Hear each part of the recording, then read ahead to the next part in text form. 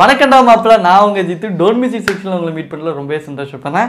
நம்ம tone music செக்ஷனில் பார்த்தீங்க அப்படின்னா உலக சினிமாலே சிறந்த சினிமா பற்றி தான் பார்த்துட்ருக்கோம் இன்றைக்கும் ஒரு சூப்பரான ஒரு சினிமா பற்றி தான் பார்க்க போகிறோம் வாங்க பார்க்கலாம்.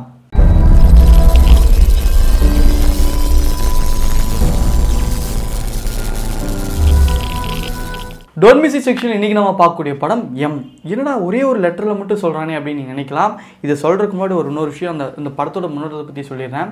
பொதுவாக நம்ம சின்ன குழந்தையா இருக்கும்போது என்ன சொல்லி சாப்பாடு ஊட்டுவாங்க அப்படின்னா ஒழுங்காக சாப்பிட்டு புள்ள பிடிக்கிறவங்கள்ட்ட பிடிச்சி கொடுத்துருவேன் அப்படின்ற மாதிரி நிறைய விஷயங்கள் சொல்லுவாங்க.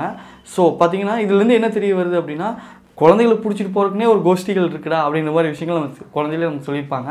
ஸோ அப்படிப்பட்ட ஒரு கதை தான் இது.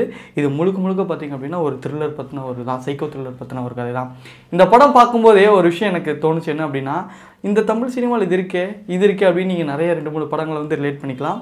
அப்படிப்பட்ட கதை தான்.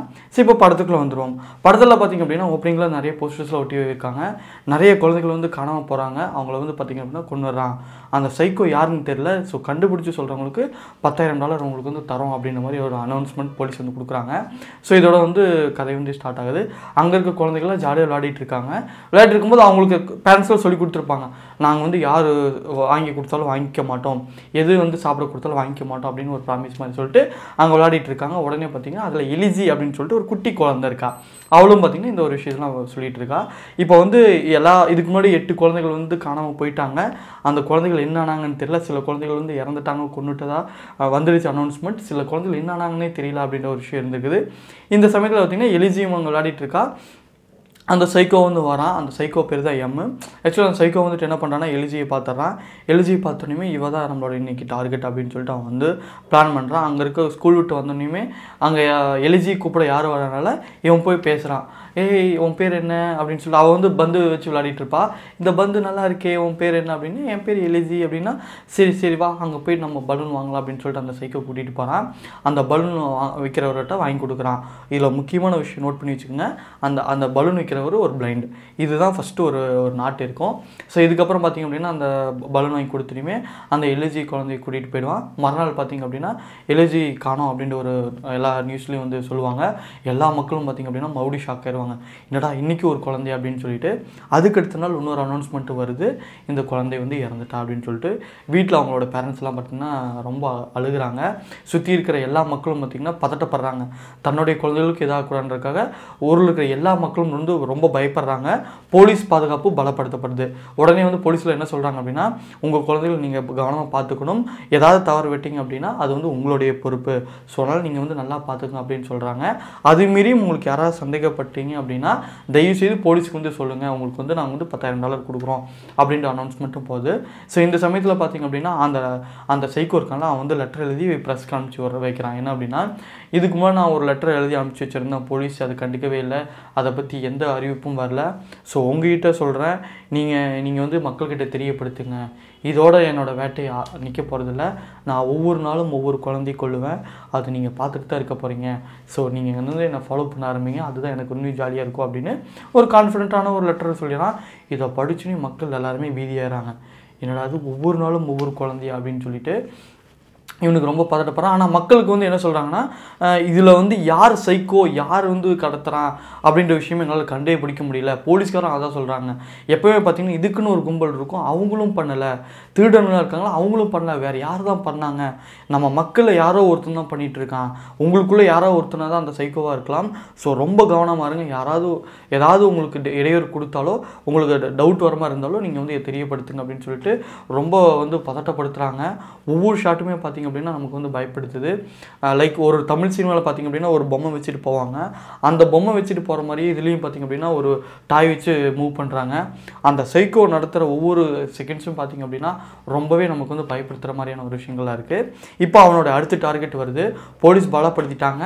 இப்போ போலீஸ் பலப்படுத்துறதுனால ஒரு சிக்கல் வருது. எப்பவுமே பார்த்தீங்கன்னா அந்த ஏரியாவில் திருட்டு நடத்தவங்க இருப்பாங்க கொலை பண்ணுறவங்க இருப்பாங்க. அவங்களுக்குன்னு ஒரு எல்லாம் கேங்காக இருப்பாங்களா அவங்கள பிளான் பண்ணுறாங்க யாரோ ஒரு நாய் பண்ணுற தப்புக்காக நம்மளோட தொழில் பாதிக்கப்படுது. இதில் இவனுக்கு போலீஸ்காரனுங்க அவனை பிடிக்காம இந்த எல்லா ஏரியாவும் வந்து பலப்படுத்துகிறாங்க நம்மளால் வந்து தொழில் பண்ண முடியல. ஸோ போலீஸ் பிடிக்கிறானோ இல்லையோ போலீஸ்க்கு மேலே நம்ம பிடிச்சி அவனை போட்டுறணும். ஸோ மக்களே அவங்க கே கேங்லலாம் பேசிக்கிறாங்க. ஸோ நீங்கள் எல்லாருமே கேர்ஃபுல்லாக இருங்க. நிறைய பேர் பார்த்தீங்க அப்படின்னா நீங்கள் ஸ்ட்ரீட்டில் இருக்கணும் எல்லாத்தையும் கவனிக்கணும் அப்படின்னா நீங்கள் வந்து மற்ற விஷயத்தில் போட முடியாது. ஒரே ஒரு விஷயம் தான் பிச்சைக்காரனாக போகணும். பிச்சைக்காரன் கெட்டப்பில் நம்ம இருப்போம். எவனா ஒருத்தர் டவுட்டாக இருந்தான் அப்படின்னா அவனை வந்து நம்ம போட்டுடலாம் அப்படின்னு சொல்லிட்டு பிளான் பண்ணுறாங்க இதுக்கடுத்து பார்த்தீங்க அப்படின்னா அவன் வீட்டுக்கு போயிட்டான். அந்த சைக்கோ வந்து வீட்டுக்கு போயிட்டு வேறு யாராவது கொல்லணும் அப்படின்னு சொல்லிட்டு அவனுக்கு ஒரு தாட்டு வருது. ஸோ அந்த தாட்டுக்காக வெளியே வரான். அந்த ஒரு குழந்தையை ஃபோக்கஸ் பண்ணால் அந்த குழந்தை அடுத்து குழ இறப்பு அந்த குழந்தை தான் அப்படின்னு நான் நினச்சிட்டு இருக்கும்போது பார்த்தீங்க அப்படின்னா திடீர்னு அவங்க அம்மா வந்து பிடிச்சி கூட்டிகிட்டு போயிடுறாங்க.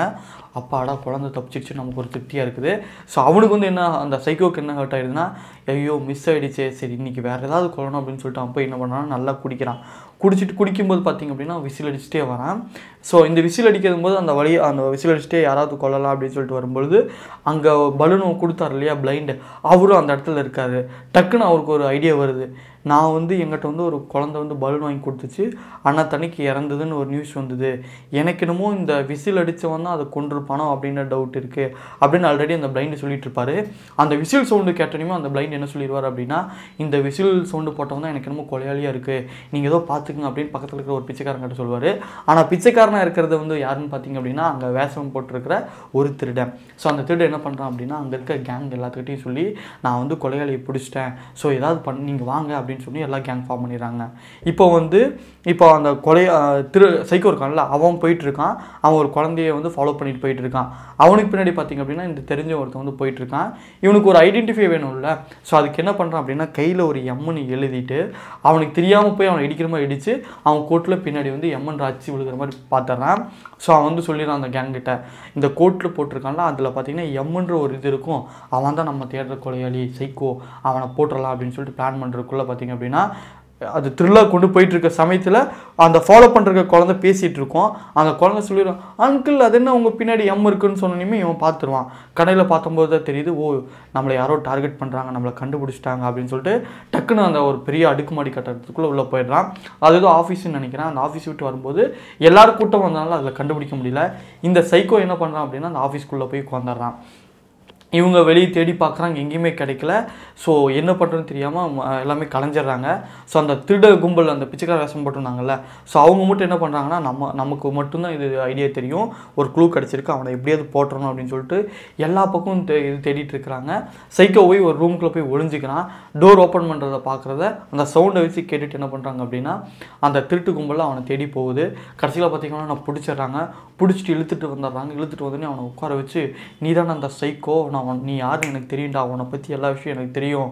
உன்னை பிளான் பண்ணி தான் இது பண்ணான். இப்போ உன்னை கொல்றேன்டா அப்படின்னு சொல்லி டக்குன்னு கொள்றதுக்காக கத்தி எல்லாம் கன் எடுத்துட்டு அவனை ஷூட் பண்ணுறதுக்காக ரெடியாக இருக்காங்க. ஐயா ஐயா ப்ளீஸ் என்னை விட்டுருங்க அப்படின்னு ரொம்ப பாவமாக இப்போ சைக்கோ நடிக்கிறான். எனக்கு உங்களுக்காவது நீங்கள் திருட்டு பண்ணுறீங்க உங்களுக்கு அந்த விஷயம் தெரியும். எப்போ கொல்லணும் எப்போ கொள்ளக்கூடாது எப்போ இது திருடணும்னு தெரியும். ஆனால் எனக்குள்ளே ஒரு ஒரு மிருகம் இருக்குது அந்த சாத்தா என்னை அதை அழிச்சிருங்க. அது நான் சும்மா இருக்க சமயத்தில் என்னை வந்து சொல்லிகிட்டே இருக்கும். எனக்குள்ளே ஒரு வாய்ஸ் போயிட்டே இருக்கும். இப்போ அந்த குழந்தை கொள்ளு அந்த குழந்தை கொல்லுன்னு சொல்லும். என் எரியாமல் நான் குழந்தை கொல்லிடுவேன். என் தெரியாமல் பண்ணிகிட்ருக்கா அப்படின்ற போது அந்த கேங்கில் இருக்க ஒருத்தன் வந்து பார்த்திங்க அப்படின்னா சொல்கிறான் இல்லை இல்லை இவன் வந்து சைக்கோ இவனுக்கு வந்து என்னென்னா அவனை அறியாமையே பண்ணுறான் அவனை கொல்லாதீங்க அவனை வந்து அவனுக்கு தேவை ஒரு டாக்டர் தேவை அவனுக்கு வந்து சைக்காலஜிஸ்ட்டு தேவை அவனுக்கு சைக்காலஜிக்கலி அவன் வந்து அஃபெக்ட் ஆகிருக்கான் அவனுக்கு வந்து அதுதான் தேவை அப்படின்னு சொன்னால் அங்கே இருக்கவங்க எல்லாருமே வேணாம் வேணாம்னு சொல்கிறாங்க என்னதான் அவனுக்கு மருத்துவம் கொடுத்தாலும் இந்த சைக்கோனா எப்போ வந்தாலும் ஒரு நாள் வருவான். ஏதோ ஒரு குழந்தை கொல்லுவான் நம்மளுக்கு தொந்தரவு கொடுப்பான்.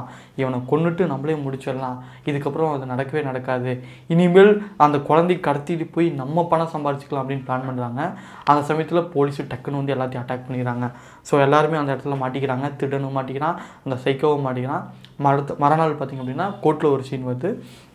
அந்த கோர்ட்டில் வந்து சொல்கிறாங்க எப்பவும் போல் அந்த எலிஜியோட அம்மா எல்லா பேரண்ட்ஸ் எல்லாருமே பார்த்திங்க அப்படின்னா அழுதுட்டு இருக்காங்க இதுக்கு முன்னாடி குழந்தைகள் இறந்தாங்க இல்லையா காணாம போச்சு இல்லையா அவங்களும் வந்து பார்த்திங்கன்னா அழுதுட்டு இருக்காங்க ஸோ இந்த சமயத்தில் பார்த்திங்க அப்படின்னா கொலையாளியும் மாட்டிக்கிட்டான் திருட்டு கும்பலும் மாட்டிக்கிட்டாங்க. எல்லாம் முடிஞ்சுது. ஆனால் கடைசியில் பார்த்திங்கன்னா இறந்த குழந்தைகளை திருப்பி கூட்டிகிட்டு வர முடியுமா அப்படின்னு அந்த அம்மா அவர் கேட்குறாங்க அதோட பார்த்திங்க அப்படின்னா அந்த படம் வந்து முடிவடையுது. ஸோ இந்த படம் பார்த்திங்கன்னா முழுக்க முழுக்க ஒரு த்ரில்லராக ரொம்ப சுவாரஸ்யமாக சீட்டேஜில் உட்கார வச்சு கூட்டிகிட்டு கூட்டிகிட்டு போகக்கூடிய ஒரு படமாக இருந்தது. முக்கியமாக சொல்லணும் அப்படின்னா அவன் வந்து ஒவ்வொரு குழந்தையும் கொள்றதுக்காக முயற்சி பண்ணுற தருணம்லாம் ஐயோ இந்த குழந்தை எப்படியாவது தப்பிச்சிடணுமே. ஏன்னா எல்லாருமே குழந்தைகள் விஷயத்தில் பார்த்திங்கன்னா ரொம்ப சாஃப்ட் கார்னரில் இருப்போம். அந்த குழந்தை இதாக இருக்கக்கூடாது அதாக இருக்கணும்னு சொல்லிட்டு நம்ம வந்து ப்ரே பண்ணிகிட்டு இருப்போம். ஸோ அப்படி இருக்கக்கூடிய ஒரு படம் தான் சுவாரஸ்யமான ஒரு படம் தான் எம் சரி இந்த படம் பார்க்கும்போது பார்த்தீங்கன்னா வந்து சைக்கோ த்ரில்லரை பற்றி பார்க்குறோம். ஒரு சைக்கோ ஒரு குழந்தை இதுக்கடுத்து திருடர்கள் இருக்காங்க. ஆனால் இதில் போலீஸுக்கான வேல்யூ காமிக்கல அப்படின்னு நம்ம நினைக்கும் போது பார்த்தீங்க அப்படின்னா இதுலேயும் ஒரு ஷார்ட் வரும். என்ன அப்படின்னா போலீஸ்காரங்க எப்படி கண்டுபிடிப்பாங்கன்னீங்களே ஒரு குழந்தை காணாமல் போகிறதுக்கு முன்னாடி ஒரு சாக்லேட் கவர் இருக்கும். அந்த சாக்லேட் கவர்லேருந்து ஒரு க்ளூ கிடைக்குதுன்னு சொல்லிட்டு போலீஸ் அந்த பக்கம் ஒரு இது தேடுவாங்க. அந்த சா அந்த சாக்லேட் வச்சு இந்த சாக்லேட் எந்தெந்த கடைகளில் இருந்தது அப்படின்னு சொல்லிட்டு தேடுவாங்க. அப்புறம் அது ஒரு வழியை தேடினதுக்கப்புறம் ஒரு ஒரு முடிவுக்கு வராங்க. இவன் வந்து கண்டிப்பாக வந்து ஒரு சைக்கோவாக இருக்கலாம். ஒரு மென்டலி அஃபெக்ட் ஆகிருக்கலாம் இல்லைனா இப்போ ஒரு நார்மலாக இருக்கலாம் அப்படின்னு சொல்லிட்டு அதோட டேட்டா பேஸை கலெக்ட் பண்ணுறாங்க அதுலேருந்து ஒவ்வொருத்தரோட வீட்டாக போய் பார்க்குறாங்க அப்படி பார்க்கும்போது அந்த க்ளூவில் ஒரு லெட்டரில் எழுதியிருப்பான். அந்த பென்சிலுக்கும் இந்த பென்சிலுக்கும் ஒத்து போகுது. ஸோ இவனை கண்டுபிடிச்சிட்டோம் அப்படின்னு சொல்லிட்டு போலீஸ் ஒரு பக்கம் பிடிச்சிட்டு வந்திருப்பாங்க. திருடர்களும் ஒரு சமயத்தில் பிடிச்சிருக்காங்க அப்படின்றத அழகாக காட்டியிருப்பாங்க. இந்த படத்தை வந்து பார்த்தீங்க அப்படின்னா ஃப்ரின்ஸ்லாங் அப்படின்னு சொல்லிட்டு டேரக்டர் தான் இயக்கியிருக்காரு.